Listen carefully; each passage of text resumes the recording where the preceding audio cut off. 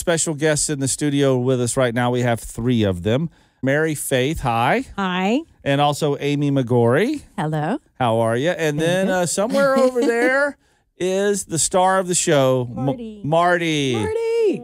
Yeah. So cute. Tell our listeners what Marty is. Marty is a facility dog. And the best way I can describe it is by what his puppy raiser told me. Oftentimes, when they're raising these puppies, they're raising them as service dogs, which means that they're supporting one individual, which is wonderful. But she, and she said that was always the gold standard that you wanted to raise a service dog until she realized that a facility dog touches so many pa- people, patients, families, mm-hmm. and as Amy said, staff. And so Marty's job is to be there for whoever needs him. And that his day to day work is just making people happy. And as I told you before, he's an equal opportunity lover. He's looking for somebody to love on right now. Yeah, he's over there somewhere. I Yeah. mean, yeah, everybody get a little. And you gave us all uh, Marty trading cards here, which, uh, fun fact, I love crushed ice. He loves crushed ice. And fortunately, the hospital has that really good, like I like to call it, sonic ice. Yeah. Oh, how good. Uh, tell us a little bit about Canine Comfort and what they do at Children's Hospital. Okay. Um, I'm going to speak from my perspective because Marty's at Liberty Campus. He was the first um, facility dog out there. He's also inpatient and outpatient. So he sees patients um, who are doing procedures inpatient. Um, sometimes we have some long term patients that just need some normalization for their day. And then other times he's going from procedure to procedure. So if you can think about an EEG, they have to have multiple leads put into their head and on their body. And sometimes it's just not, it takes 15 to 20 minutes, and that's hard for a kiddo to sit still. Marty will lay on lay on them and they can sit and talk to Marty or do um, he likes to shake and do boop and so he's there um, with them doing that and it's just it takes all this stress out of it for the patient Yeah, he kind of walks in the room and it just eases. Yeah. Yeah. and and yeah. not only for the patient, but also the family members that are there. and also the staff. I mean, the staff are like, "Oh, good, you know, Yeah. he's here. Yeah. It's going to go better." Mhm. So he, you know, I always say he does what everybody wants to do because he can get up in bed and comfort a patient. We can't do that, Yeah. you know, but he can, and it's just so unconditional. It's like you're here, I'm here. Yeah, most kids are probably like when a person get out of my bed, but when when Marty or one of the other dogs gets in there, they're like, hey, yeah. Yeah. Scoot right over. And right? I didn't know what his reception would be because um, we hadn't had a facility dog in the area that I work in. And I would say I've he's been here over a year, and there's just been two patients that didn't want to see him, and one was because he wanted a little dog, and Marty's Marty's not little, and the other one was just not having it. So Yeah. you know, everybody else is just um, really content when he walks by. Maybe get a couple of cats. Try those out for some of those. like, no way.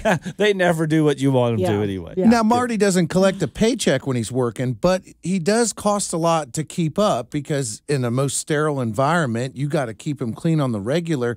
Uh, what are some of the costs that accrue of having a facility dog? Well, Marty has two what we call landing spots, and in those landing spots, he has a crate um, in both of them because he can't be with us always. But as part of my contract to have him, he has to be in a safe environment. So if I'm not in there, I have to put him in a crate. He also has a bed, you know, beds in both places. We have his kibble, which you know, his food to eat, and then um, he gets a monthly medication as a heartworm and whatever the other one is. I don't NexGard heart guard, Yeah. and then um, you know that um day to day maintenance, and we um, each of us established ourselves with a vet, so they have consistent vet visits. We also um, need to make sure that they are in the right weight frame. They can't get larger than they are, and so we have to make sure that we're maintaining their their weight well, and just grooming is you know a big like you said big thing. One of the things that we just started doing was um, using some uh, paw clean cleanser. oh, You know, it's like what? it's like a little paw-cure. yeah, yeah, Sanitizer for the paws. yeah. Paw yeah. Love it. Yeah, I like that. But that also brings up because we do have everybody wash their hands. We carry around. He's got one in his vest, um, Purell, so that you know people are able to wash their hands before they um, pet with him. So and then afterwards. But I, that's in, you want people to wash before petting Uh-huh. him. That's Yeah. it's that's interesting. yeah, Well, I think that's what we're asking our B105 listeners to do is help cover some of those costs so you could keep doing the good work that you're doing. Uh, why should people donate? for me, I think it's because it's such um, like almost a magical thing when you're walking into. I I walk around with Marty and people are like, "There's a dog," you know. and if you think about it, that helps normalize. You know, we are a scary place, but if if that dog's allowed in here, that's probably a pretty good thing. Mm-hmm. And then it just makes the the visit go so much easier on everybody. So I think um, you know, we always want things to go better. A big part of Amy's and my job is to make sure that we're per- helping a child have the least amount of stress that they can have Yeah. from what can be very, very stressful. And, you know, we can walk into a room, but we kind of have to explain ourselves a little bit. Hi, I'm Mary Faith. This is Yeah. what I do. Marty walks in the door and Owns the he's- room. He Mhm. He's just a rock yeah. star. He's just there. and so, you know, it allows you to do so much more. And it also allows you to connect with staff in a different way. So it's just, it's been, I always like to say, Marty's my dog, but Liberty thinks he's theirs. Yeah, so for if sure. anybody that li- works out there, they're like, I can take him home tomorrow. yeah. Okay.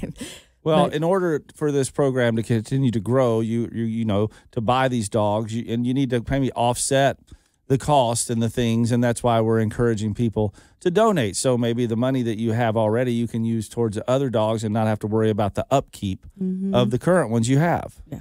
Yeah. So um, I'm asking Amy here. So what are some of the things you would need? What are some of the big needs for the dogs and you guys too? So I would just reiterate what Mary Faith said. I think she covered it all as far as maintenance and um, vet vet bills because you know there are unexpected trips to the vet as well, and we have to keep these dogs healthy. And it's it's just great to know that those things are taken care of so we can continue to grow the program because yeah it's it is a gift and it's just um, it's just wonderful to have them here as part of our work and to help support these patients and families who are going through some pretty tough times Yeah. being in the hospital. Yeah. Now, Amy, you had mentioned earlier that you do like a story time with Mhm. another one of the dogs, Chevy. Yes. So not only could our listeners, you know, go in and try to donate something towards the dogs, it could even be like a book that goes to Yeah? that story time. Oh, that's a great You just idea. warmed Yeah. Amy's heart. I love that's Oh. right. I love that idea. Yeah, books are always welcome, and and it's just it's so fun to do a story time, and I try to select books that are you know meaningful and appropriate for the kids, and so often they have a dog featured in the story, so it's really fun to um, include that. But I love that idea. Well, Well, before we let you go, I want one great moment, a story of that you made a difference in a child's life. Sure. Um, there is a procedure that was new to me, and I've been at the hospital a long time. So to have a procedure be new to me is pretty amazing. And it's called IB stim. And uh, I, a nurse had reached out to me and said, What's the chances we can have Marty there? I didn't know what it was. I didn't know what was going to be expected of Marty. So we went in and practiced beforehand. And the doctor said to me, Oh, it's a good thing you're coming now because I just started liking dogs six weeks ago. I'm like, absolutely. But um, because it's it's a p- fairly painful um, procedure for kiddos, they're putting a stimulator in their ear, and you know, like the first for a while, it I think there's like maybe seven spots that they put that stimulator in, but don't quote me. And the patient that they'd asked me to come with, they said she just had had de- been devastated the past two times that she had it. And then Marty came and she looked at the doctor. And she's like, "Are you done?" I mean, she did wasn't. Wow. yeah, she yeah. didn't even realize that's no. amazing. Yeah, what a difference. yeah. And so Marty followed her. I think she had seven um, t- treatments. So he did the last five with her. Amazing. Yeah, yeah. So that was pretty cool. Well, we're so glad you guys came in today. Thank you. And we're so happy that we can help shine a spotlight on what you guys are doing at Cincinnati Children's. I mean, one of the leading children's hospitals in the nation. And now I think you're blazing a trail uh, with the what's Marty doing over there, Marty? we're, you're blazing a trail with Marty, Chevy, and the rest of the gang. So uh, we're so grateful that we can help you guys out. Thank you so much. Thank you. It's Thank our you for having us. Yeah.